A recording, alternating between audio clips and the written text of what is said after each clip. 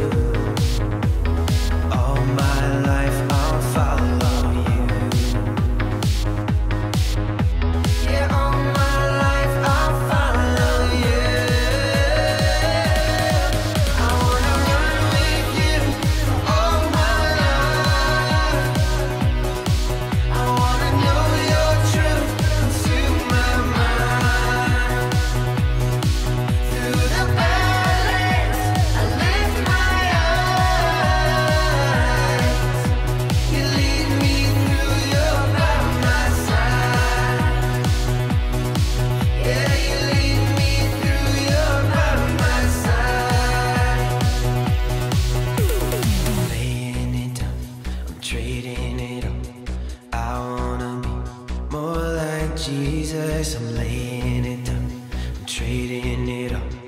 I wanna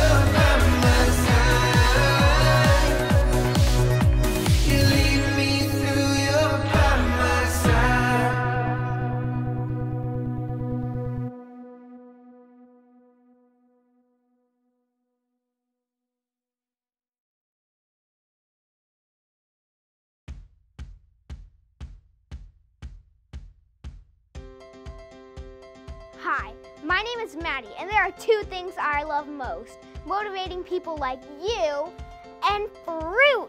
It's raining fruit, hallelujah. But on a serious note, citrus is the best kind of fruit, specifically oranges. Out of oranges comes the sweet, beautiful nectar. Orange juice. And that orange juice gives your body vitamin C. So I want to motivate you to drink more orange juice. Woo, woo, woo. Um, sorry to interrupt your orange juice dance. What's up, Director Man? This is not the kind of fruit we're talking about today. Say what? What other kind of fruit is there? Oh, I know, candy fruit. It's rainy candy fruit. Hallelujah. Woot woot. Nope, no, no, uh, not not candy fruit either. Well, what other kind of fruit is there? We're talking about the fruit of the spirit today. Say what? Spirit fruit? Can you make juice out of that? No, no, uh, the fruit of the spirit is love, joy, peace, patience, kindness, goodness, faithfulness, gentleness, and self-control.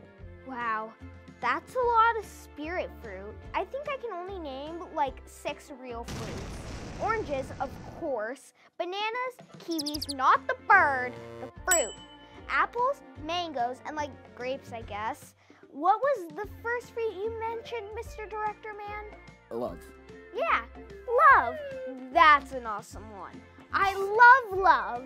It's raining love. Hallelujah. Woo-hoo. You know who else loves go- love? God does. Not only does he love love, but he's the epitome of love. The epitome. And God is the ultimate motivator, which I obviously love. Anyways, God motivates us to love Him and love others, or how I like to say, LGLO, or LEGOLO, which stands for Love God, Love Others. I even have that on a bracelet to help motivate me to live in love. Jesus once said, Love the Lord God with all your heart, all your soul, and all your mind. This is the first and greatest commandment. A second is equally important love your neighbor as yourself. Now that's a lot of love. I want to ma- motivate you this week to commit to living in love. Come on, Mr. Director Man, chant it with me. L G L O, L G L O, L G L O, L G L O. Remember, guys, love God and love others. I'll see you next time for more motivation and more fruit. L G L O, L G L O, L G L O, L G L O. Woo woo! I like how there's still like three fruits in there.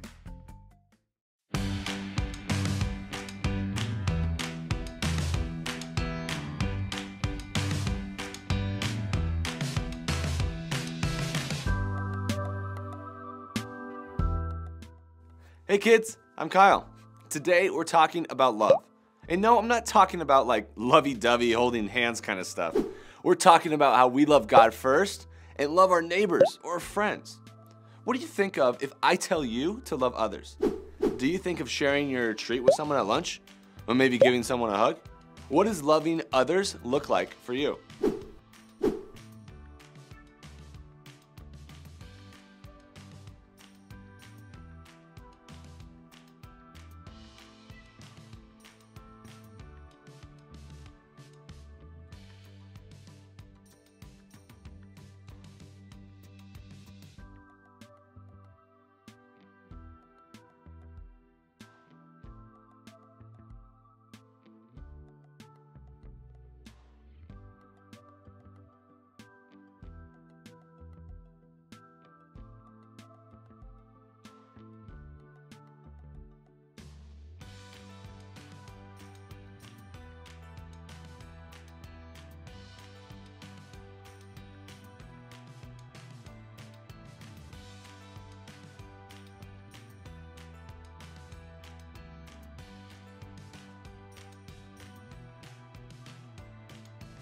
Loving others isn't always easy, but we can love others in so many different ways.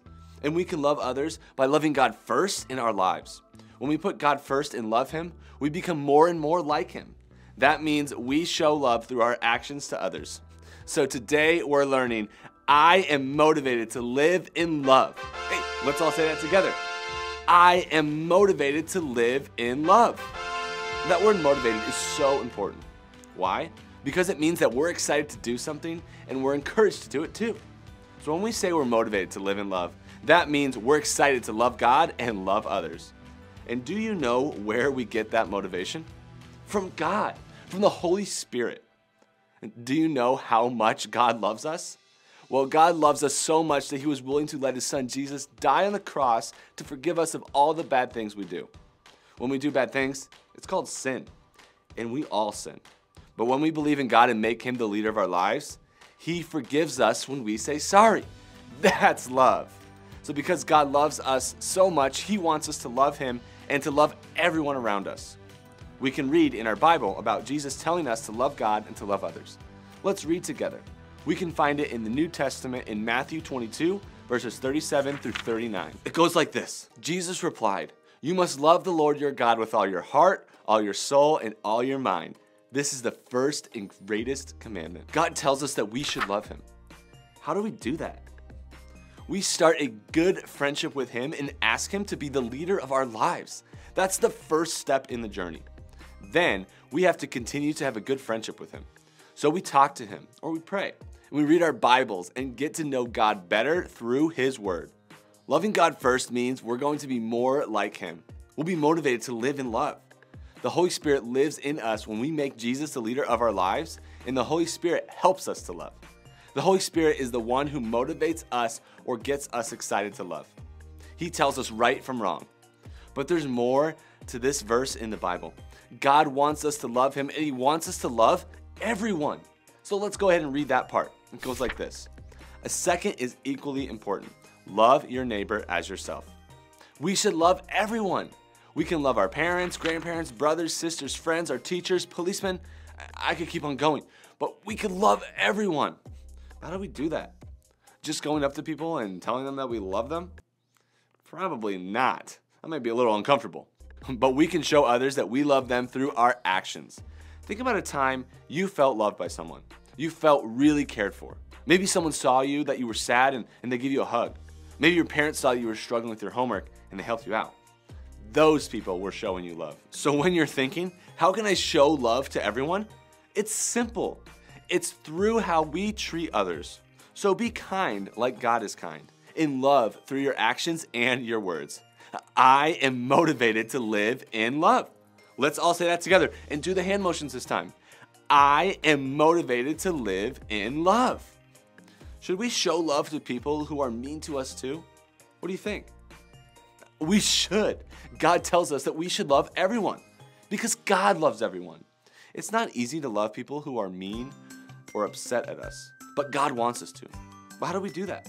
Or maybe you can tell them that you forgive them, even if they didn't say sorry. Maybe you can just be kind to them, even if they're mean. Don't be mean right back to them. That's not showing love. I'm not saying to just let them be mean to you either. If you're having an issue with someone, talk to an adult. Sometimes that is the kind thing to do.